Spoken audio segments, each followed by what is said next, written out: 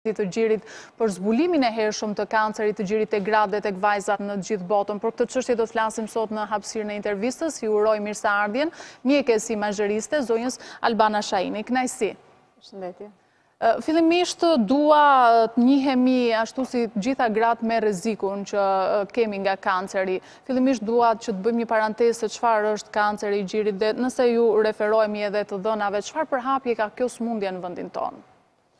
Atëherë, të gjithë tashmë janë të informuar mbi sëmundjen e kancerit të gjirit, aq më tepër që tetori është quajtur edhe si muaj i sensibilizimit po. të luftës kundër kancerit të gjirit dhe vendi jonë ashtu sikundër në trendin botëror mhm. është një vend që ka një shpeshtësi të madhe të konsiderueshme të shfaqjes së rasteve me kancer të gjirit Por mund të them që sot edhe në vende ku kanë statistika të rregullta dhe të sakta për monitorimin e shfaqjes së kancerit të gjirit, ka një numër të konsiderueshëm. Për shembull, në Amerikë mund të jenë rreth dyqind e shtatëdhjetë mijë raste me kancer gjiri në vit, prej të cilave mund të preken gjashtëdhjetë e pesë mijë raste me karcinoma në stade fare fillestare.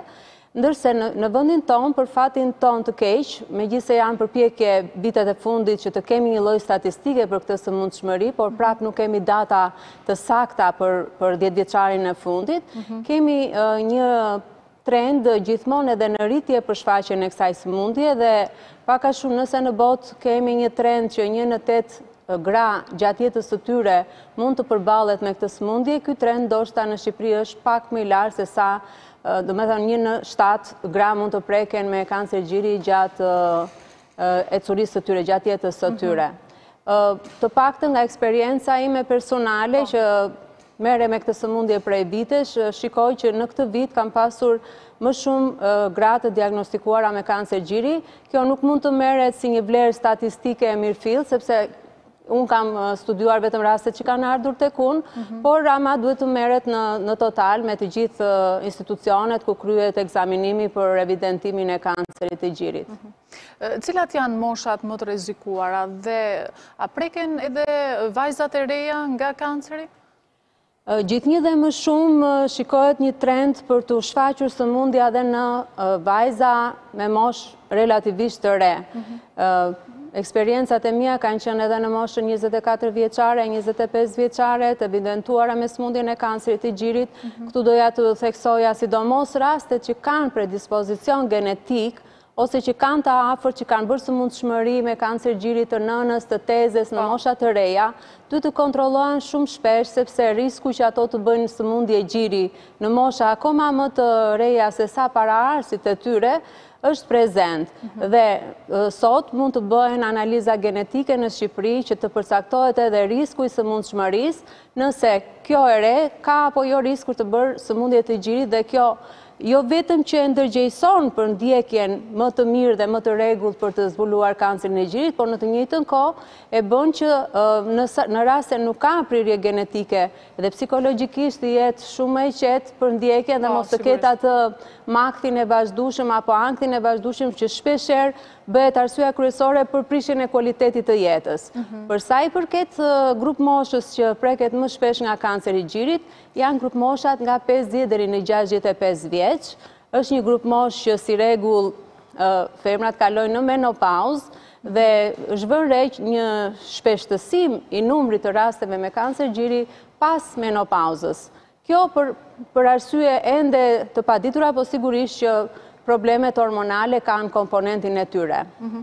Shkaqet për kancerin e gjirit, doktoresha, cilat janë? Cilat janë faktorët e riskut? Ju e përmendët një prej tyre që është trashgimia. Trashgimia është një nga faktorët për kancerin e gjirit, por duhet të dimë që jo të gjithë kancerat e gjirit kanë bazë genetike. Vetëm 10% e kancerave të gjirit mund të trashëgohen në mënyrë genetike, kurse 90% kanë një risk pothuajse të barabartë te femrat gjatë jetës së tyre, por këtu ka disa faktorë që mund ta përshpejtojnë apo mund ta favorizojnë më shumë një grua drejt shfaqjes së kësaj sëmundjeje. E para është fakti nëse një grua lind apo nuk lind fëmi. Kuptohet që gratë që kanë lindur fëmi janë më të prirura për t'u mbrojtur nga kanceri i gjirit. Laktacioni ose ushqyerja e fëmijës me gji është përsëri një faktor mbrojtës ndaj shfaqjes së kancerit të gjirit. Konsumimi i duhanit, i alkoolit apo veset e tjera që mund të jenë sigurisht që sikundër shtojnë shpeshësinë për shfaqjen e shumë sëmundjeve ndikojnë negativisht edhe për kancerin e gjirit. Përdorimi i kontraceptivëve për periudha të gjata pa kriter rrit riskun për shfaqjen e kancerit të gjirit gjithashtu rrezatimi Për arsye nga më të ndryshme prapë është një faktor. Mhm. Ne i referohemi gjithmonë rasteve me kancer sa i përket grave dhe vajzave. Burat janë të rezikuar? Burrat janë të rrezikuar më pak nga kanceri i gjirit për vetë faktin sepse Burrat nuk kanë gji të formuar sikundër kanë mhm. gratë me ind fibroglandular, por nuk do të thotë që kjo sëmundje nuk ekziston dhe tek burrat. është me një incidencë më të ulët, mhm. por duhet të theksojmë që rastet e kancerit të gjirit tek burrat janë shumë më agresive, sillen në mënyrë shumë invazive edhe kanë një dekurs më të keq se sa kanceri tek femrat. Unë jo më jo më parë se sa një javë, kam diagnostikuar një të ri nga Kosova, që ishte tridhjetë e shtatë vjeç, për fat të keq i keqdiagnostikuar dhe kishte ardhur në një stad shumë të avancuar me metastaza trunore në një stad që praktikisht nuk mund t'i sigurohet një jetëgjatësi e madhe përveçse një përmirësimi të kualitetit të jetës. Mhm. Pra, rreziku gjithsesi është i lartë edhe për meshkujt dhe duhet dhe ata aty sa herë të shikojnë ndryshime në zonën e gjirit, duhet të mendojnë që dhe tek ata mund të shfaqet kjo sëmundje. Mhm. Të vim tek tek momenti kryesor, si zbulohet kanceri i gjirit, cilat janë mënyrat që fillimisht mund të vetëkontrollohemi dhe më pas edhe të shkojmë edhe drejt ekzaminimeve të tjera më të specializuara. Ajo që do doja ta theksoja është vetëkontrolli që ju e përmendët, pasi të gjitha vajzat edhe gratë, sikundër shikojmë fytyrën tonë përditë, apo sikundër shikojmë çdo lloj defekti minimalist që ne mund të kemi në portretin tonë, ashtu duhet të kujdesemi dhe të kontrollojmë edhe gjirin. Mjafton një kontroll i përjavshëm në dush në momentin që je duke u larë, thjesht ta kontrollosh gjirin nga periferia drejt papilës, pra drejt kokës së gjirit, në mënyrë rrethore me mollëzat e gishtave dhe vetë individi mësohet me strukturën e gjirit të vet dhe arrin që të dallojë edhe gjëra shumë të vogla, sikundër më ka ndodhur rëndom që shumë gra vijnë dhe thonë që unë kam prekur vetë një mhm. një zonë që nuk e kam pasur më përpara, që më duket diçka e re dhe shpeshherë rezultojnë të jenë të sakta në prekjen e këtyre formacioneve. Pastaj, në raste të tjera, sigurisht që do i nënshtrohen ekzaminimeve radiologjike, ku më klasikja, që nuk del asnjëherë nga nga moda apo nga nevoja për t'u kryer, po. është mamografia. Mhm. Nuk është një ekzaminim që të themi që meqë kemi ekografi do ta zhvendosim mamografinë. Mamografia është tepër e rëndësishme, kryhet me një rrezatim minimal dhe nuk është sëmundje që të të shkaktojë, nuk është ekzaminim që të të shkaktojë sëmundje, mhm. sepse doza me të cilën kryhet mamografia është e kalkuluar për diagnostikim dhe jo për të shkaktuar sëmundje, dhe i duhet njeriut që të kryejë aq shumë mamografi gjatë jetës sa nuk arrin dot vitet e jetës së gruas që të marri aq shumë rrezatim sa të shkaktojë një sëmundje. Mamografia si rregull duhet kryer mbi moshën dyzet vjeç dhe mund të kryhet një herë në dy vjet, Në rastet kur ne nuk shikojmë asnjë patologji, në rastet kur ne shikojmë gjëra të dyshimta, mund të përsëritet edhe një herë në një vit e gjysmë ose një herë në vit. Është një procedurë e dhimbshme kjo, sepse gratë ndonjëherë i druhen edhe kësaj pjese, kryerja e mamografisë? Mendoj që një pjesë e tyre pa e kryer asnjëherë mamografinë kanë frikë se mund të jetë shumë e dhimbshme. Nuk mund të them që është e padhimshme fare, por fraksioni në të cilën ndodh mamografia është çështje sekondash dhe gratë kanë përjetuar dhimbje shumë herë më të forta dhe gratë janë shumë luftarake dhe shumë trime dhe një mamografi nuk është absolutisht asnjë gjë aq e dhimbshme dhe aq e papërballueshme, pastaj kjo varet Edhe nga struktura e gjirit, pasi ato gra që e kanë gjirin shumë të dëndur, që kanë kiste, që kanë sëmundje inflamatore të gjirit, sigurisht që mund të kenë ndjeshmëri më të lartë. Ndërsa, ato gra që kanë gji dhjamor, pra që e kanë adipoz gjirin, mund të mos ndjejnë dhimbje fare gjatë bërjes së mamografisë, Prandaj ne gjithmonë këshillojmë që në ato gra që janë në periudhë menstruale, pra në kohën akoma fertile, ta kryejnë mamografinë mbas ciklit, pasi është një periudhë që gjiri është pak më i shtensionuar, nuk është hipertrofik dhe dhimbja është më e pakët. Pra ka një fazë të caktuar që është më mirë që të kryhet. Po, mbas ciklit menstrual. Sigurisht. Po për sa i përket ekografive, sa të shpeshta duhet të jenë ato, ose ndoshta kur është momenti më i mirë për t'i kryer dhe Për çfarë shërbejnë, domethënë, a janë efikase për fazën e parandalimit? Ekografia është ekzaminim shumë komod, është ekzaminim që nuk shkakton asnjë dëmtim në indet e organizmit, si e tilë mund të kryhet sa herë të jetë e nevojshme, nuk ka limitacione për kohën apo për periudhën se si kryhet. Nuk është e dëmshme. Nuk është e dëmshme, absolutisht, pasi ekografia punon me ultratinguj që janë të njëjta me ato që ne ndjekim fetusin gjatë ekove obstetrikale. Po. Pra, fetusi është indi në organizëm më i ndjeshëm dhe më fraxhil nga të gjitha indet e tjerë. Kështu që për sa kohë ne kryejmë këtë ekzaminim në ekot obstetrikale, mund ta kryejmë shumë kollaj dhe në ekot e gjirit, Duke theksuar prapë faktin që mosha e sëmundshmërisë ka ardhur duke u ulur, sigurisht që ekografia ka zënë një rol shumë të madh, pasi duke filluar të paktën nga mosha njëzet vjeç, në vajzat që nuk mendojnë se kanë ndonjë patologji të gjirit, unë mendoj që duhet të kryhet të paktën një herë në vit një ekografi e gjirit, dhe jo rrallë ka rezultuar që ekografia ka zbuluar e para sëmundshmërinë e kancerit të gjirit. Gratë shtatzëna duhet të jenë të frikësuara nga prekja nga kanceri i gjirit? Si rregull, shtatzania dhe laktacioni janë faktorë mbrojtës, por kemi vënë re një shtim të rasteve të kancerit të gjirit mbas lindjes, pra gjatë laktacionit, sigurisht Këto janë kancera që janë me receptorë hormonalë dhe marrin një zhvillim, pra marrin një bum në momentin kur vajza apo gruaja është shtatzanë edhe shfaqen menjëherë ose në fund shtatzanisë ose menjëherë mbas shtatzanisë. Prandaj, nuk është se ekziston ndonjë rregull i caktuar që gjatë shtatzanisë dhe gjatë laktacionit nuk duhet të kryhen ekografitë. Përkundrazi, mund të kryhen në mënyrë periodike, sikundër janë kryer edhe në momentet kur nuk kanë qenë shtatzanë. Mhm. Mamografia, konkretisht nëse kryhet rregullisht për t'iu rikthyer, çfarë ekzaminon, çfarë mund të arrijmë të shohim? Mamografia si rregull e vlerëson gjirin në dy projeksione, në projeksione standarde dhe nëse ne kemi dyshime mund të kryejmë edhe projeksione të tjera shtesë. Ajo e shikon gjirin sikundër shikon një grafi mushkrinë.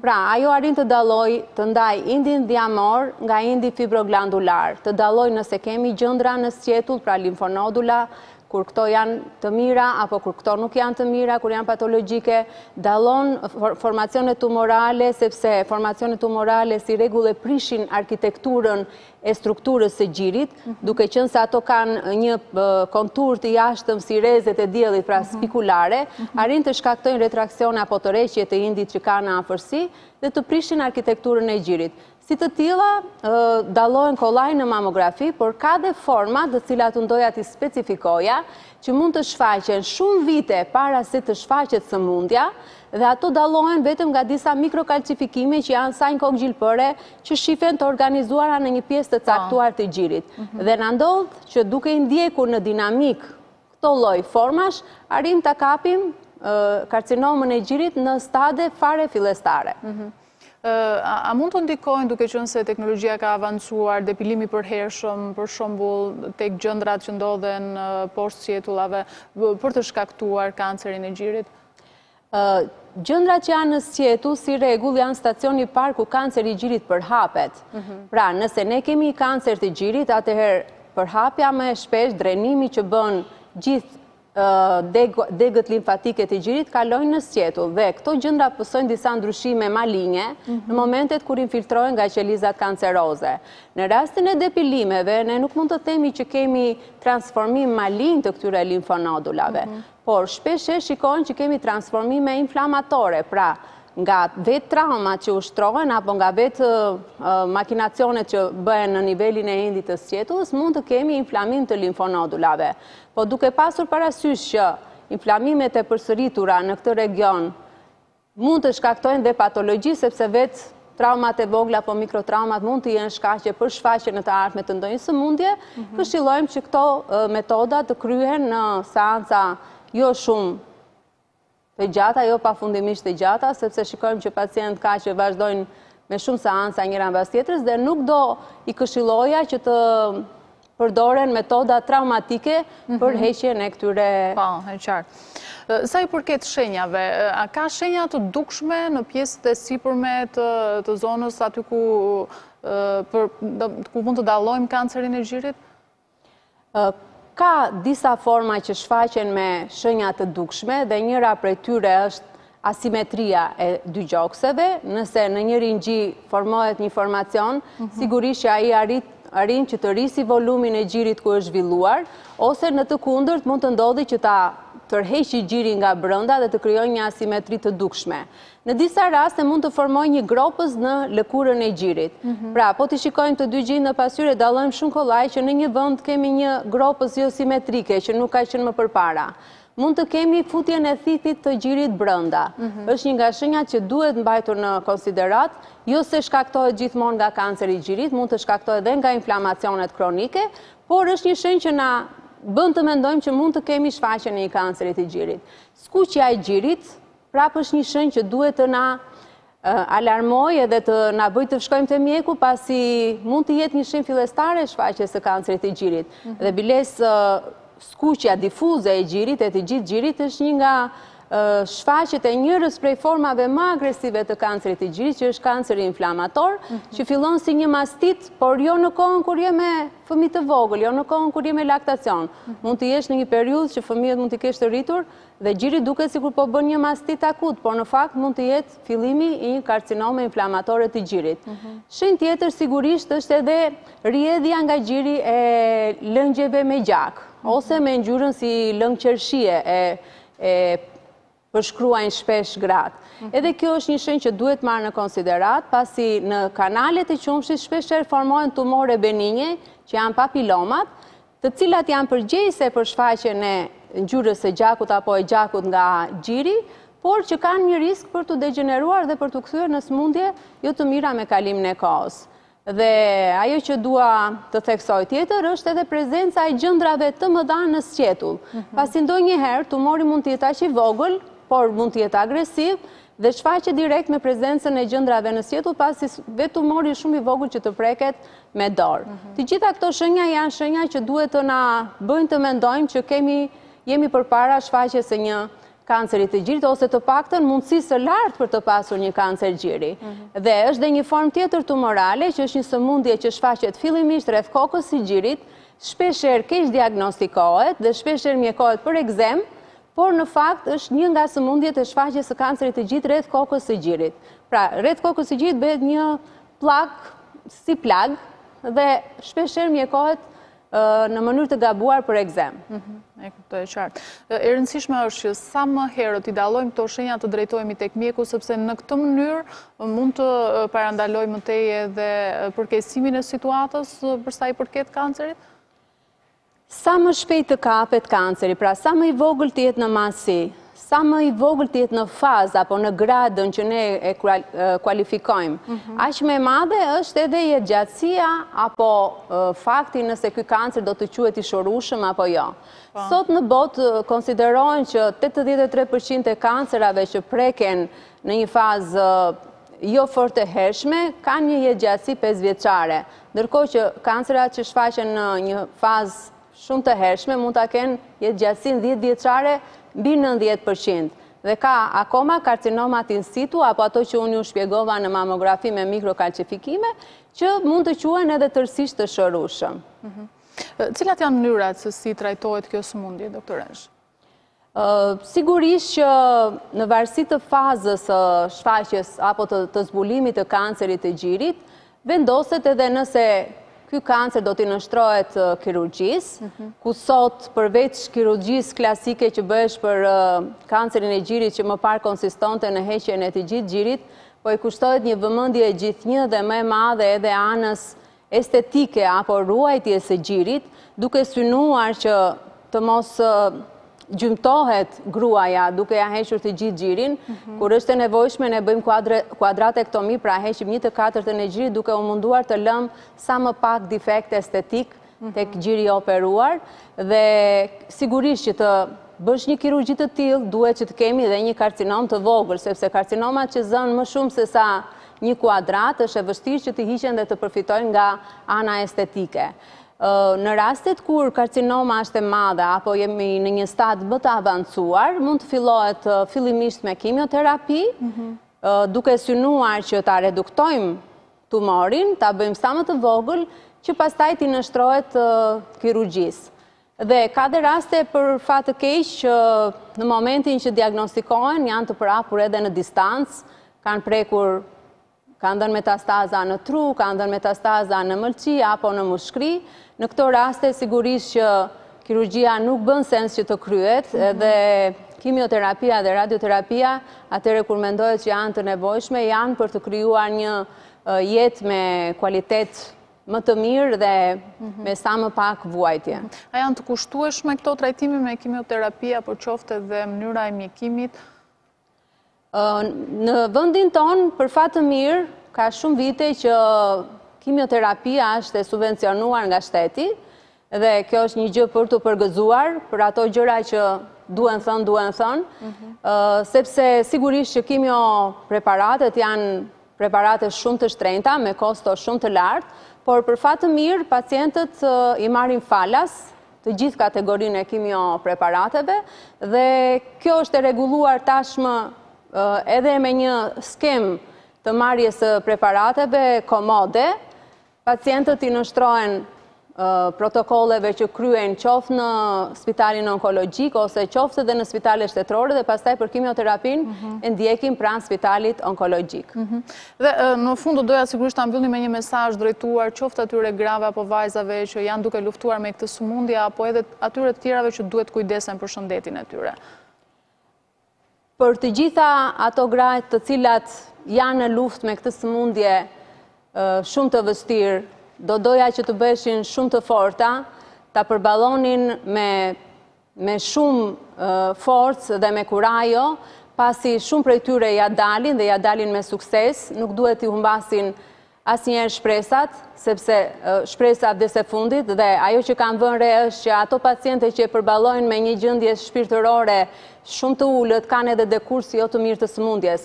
Prandaj duhet ta pranojnë siç kanë pranuar shumë probleme në jetën e tyre dhe jam e bindur që me shumë forcë këtë sëmundje mund t'ia dalin. Ndërsa për të gjitha vajzat dhe gratë që nuk janë të sëmura fatmirësisht, do të doja të kontrolloheshin rregullisht për gjirin e tyre, pasi vetëm kontrolli mund të na diagnostikojë kancerin në stade të hershme. Asnjëra nga ne nuk e di riskun se si do na vijë gjatë jetës, vetëm kontrolli mund të na e zbulojë këtë gjë. Faleminderit shumë, zonja Shahini, ishte një kënaqësi. Ju lutem. Do të njihemi tani me parashikimin e motit. Përshëndetje.